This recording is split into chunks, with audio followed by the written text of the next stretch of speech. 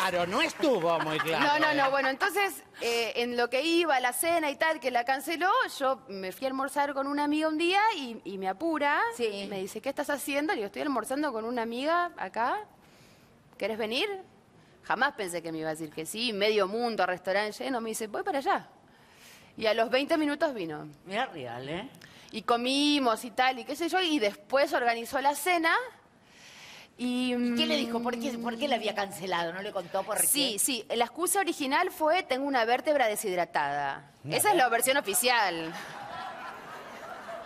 ¿Alguien me puede explicar a quién se le deshidrata una vértebra? Se le licuó. Se No, le hizo- no, no, tremendo. Qué raro, ¿no? Se le disolvió. Es- No, Este- es como una excusa. ¿Viste esas excusas que dan los hombres que nadie les cree que son revoludas? Sí, sí, Bueno, sí. No, le- pero después me dijo, me cagué.